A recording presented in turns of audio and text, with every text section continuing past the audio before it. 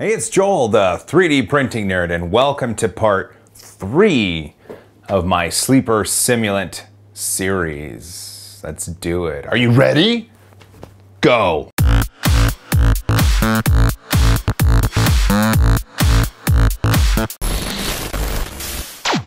Ooh, I'm very happy to announce that I have the very first official sponsor of my channel, and that's Printed Solid. Printed Solid is where I went this last weekend in order to help with the grand opening of the brick and mortar store because they've been online for the past couple years. I've worked out some details and now Printed Solid is an official sponsor of the 3D printing nerd. And don't forget, down in the description, there's a link to Printed Solid, and if you use that link to buy all sorts of 3D printing filament accessories or printers themselves, I will get a little bit of Scooby Snacks because that's how an affiliate link works. Okay, back to the show. Ah, welcome back. So, in case you're wondering, yes, this is the Sleeper Simulant from Destiny, and this is a freaking awesome gun. It's huge and but it, look at that, it's steady. I can, it's got metal through it, threaded, threaded metal, and it holds it all together along with some super glue. And I, I've got some more parts to put on it. Here, let me show you. Let's start with the sight. The sight is this piece right here, and it goes right here on the model. Not a bad place to put it. The only issue is, let's see if, let's see if I can show you. It's got a, what is that, a dovetail joint, something like that. It's meant to slide into these grooves right here on the gun and then, and before you glue it together. I've already glued it together. Crap. So here's what I did. Let me show you. I printed a new one. Here, look at this. Let's see if, let's see if you can see the difference. Let me get close. Let me get real close. So this one has those angled pieces and this one well, this one does not. I used Tinkercad and I brought this model, well, this model in and I put it like this.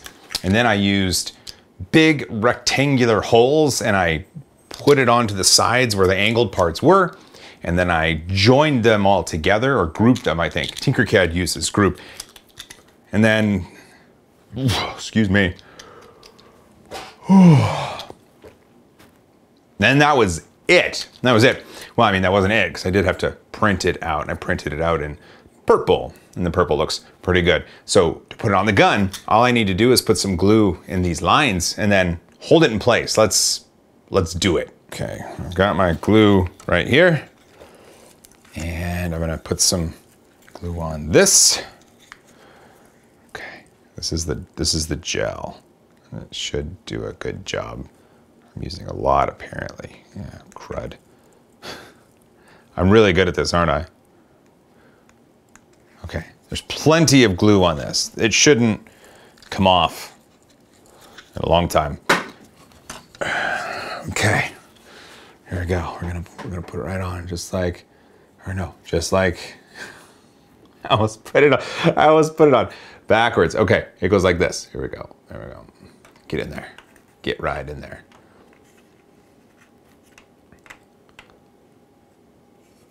Awesome. It fits. It fits in the grooves. And the glue is making contact. Okay. This won't be too bad. Maybe, maybe this will work. Uh, fingers crossed. Here's what I did. I went and got some magical blue tape. Blue painter's tape. It holds models together. You put the CA glue or the super glue or whatever you want to call it on the pieces and then use the blue tape to put it together. Oh, stop that. And then it just holds it. And then when you're done, you take the blue tape off. It's that easy, usually. Uh, oh, okay, so now the next thing, the next thing to do, me grab it, is this. This is the mag, and the mag gets here. There's two holes in there, though. I think you can see those. And uh, the, the threaded, the threaded rod goes in those holes, and then it slides up on either side of the trigger, and that's where that gets held in place. But like a person who doesn't plan very well, this piece right here, I printed this on the Robo with the Proto-pasta Natural PLA, and I said, throw some supports in because it needs supports. That was easy. But the little hole on either side where the threaded rod is supposed to go now is filled with supports and I can't get it out easily. So now I have to use a drill.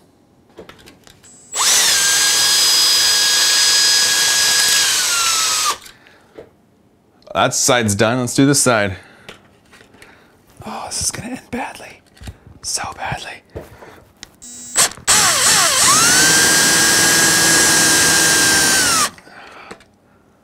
I'm close.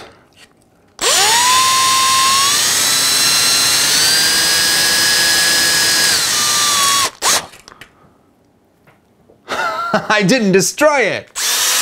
And it worked. Okay. Smells like burning plastic. Of course. Uh, okay.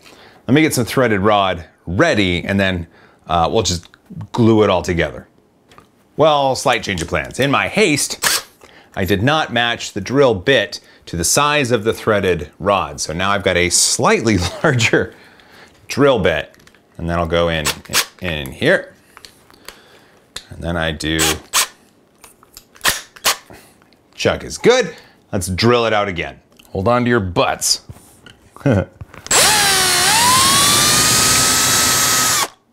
was relatively painless for me.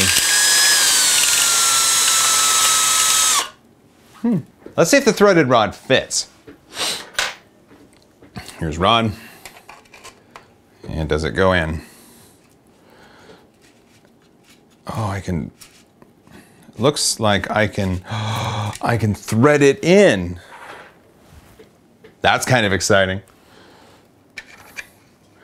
I should probably still glue it. I mean, that makes sense, right? But, but being able to thread it in, well, now we're, now we're cooking with gas. Oh, come on. okay. This part is hard. So you go in here.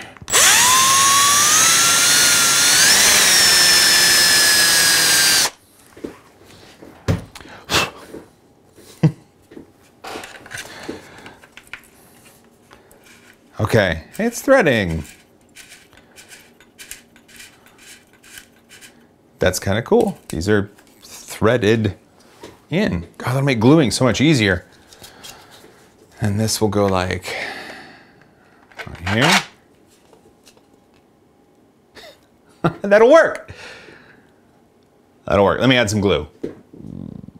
Glue. I'm awfully surprised at how well this is going. I didn't think it would be going this well. Okay, got some, some glue in there. This gel control, this is the stuff, man. This is great. Okay, get in there. Put a little bit right here at the end. There we go. Oh, oh, a little bit extra. Now let's attach this. Uh, okay, I'll put some glue along here and along here because I don't want it to fall off. And then right along here and right along here. Yeah, okay, maybe a little right there, a little right there. Put the cap back on. Okay. Here we go.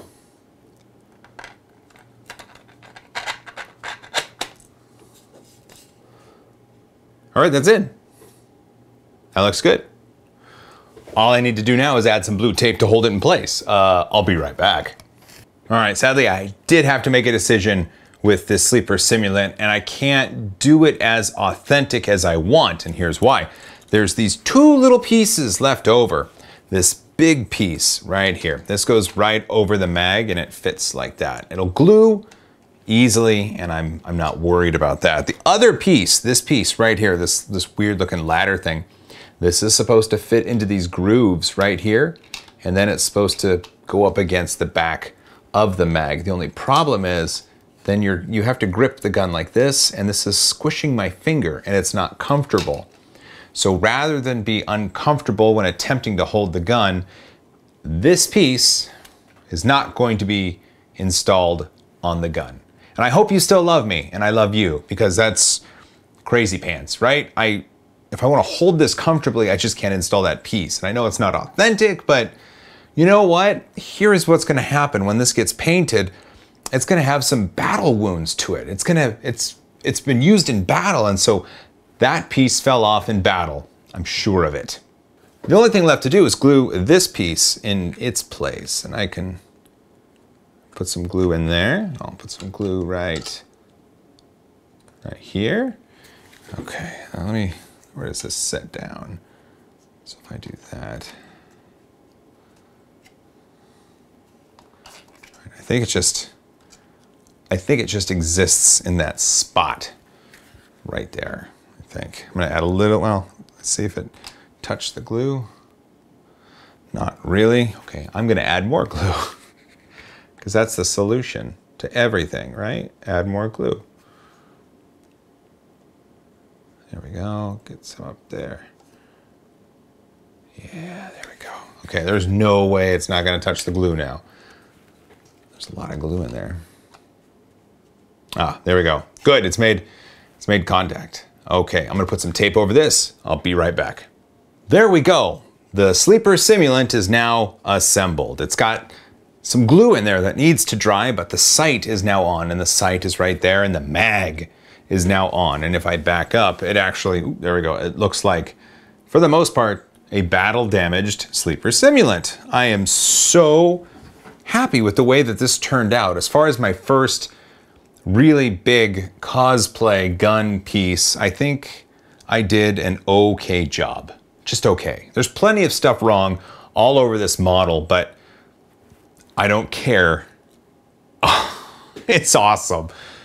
Oh boy, I've already spoken with Bill Doran, uh, Mr. Punished Props, at Chinbeard on the Twitters, and he is a, an amazing, amazing prop builder. He uses a lot of foam, he does 3D printing, and he casts stuff, and we've already set aside a few dates for a play date to paint this and some of the other 3D printed cosplay weapons that I have in my arsenal. And that will do it for part three of the Sleeper Simulant build series here on my channel. Part four will commence once Bill and I nail down a play date so we can start painting things. Part four of the Sleeper Simulant will involve painting it. Oh, that's exciting because I don't know how to do that and I get to learn.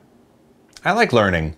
Well, hey, give this a thumbs up if this has been fun so far. Leave a comment down below if you have any questions about anything I talked about in this video. Subscribe to my channel if you're not already subscribed. That helps me out big time. You can throw me a dollar or more via Patreon right over there if you want to financially support the channel. However, I'm never going to require it. I'm always going to do this for free as long as I can. However, I do ask every once in a while for a social high five. And speaking of high fives, as always, high five. He's Joel Telling and he's printed 3D like some Pokemon, a gun from Destiny. And when you call him a nerd, he'll stand up proudly, cause he's packing some heat from his YouTube family. He can review printers till he falls to the floor, then he'll give them away like Oprah in 04. There's the Wombat, Lulzbot, G-Max XT, then a break for Red Bull and Locos Taco Crispy. Printed koozie in his hand for his drink. He sets up his GoPro and prints out a bender bang. So send him a dollar to put in his head or a self-addressed envelope for a sticker instead. There's a nerd vlogs, unboxings, and Q's and A's, and he'll open your mail every single Friday. And of course, you can't forget that pancake bot and filaments Bonacles and Joel's a little Todd. And they printed this printer at Holodeck Studio like Lando Calrissian freeze dried Han Solo. So show your support on Patreon or subscribe, and as always, high five.